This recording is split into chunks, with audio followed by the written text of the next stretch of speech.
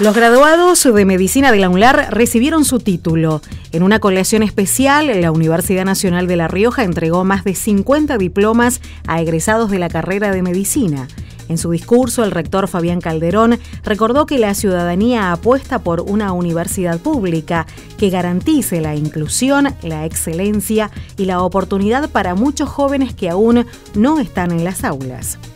La flamante graduada Erika Agüero Zárate expresó su satisfacción. Hoy celebramos la culminación de una etapa muy importante en nuestras vidas, que representa el final de un camino y a la vez nos muestra cuánto nos queda por recorrer.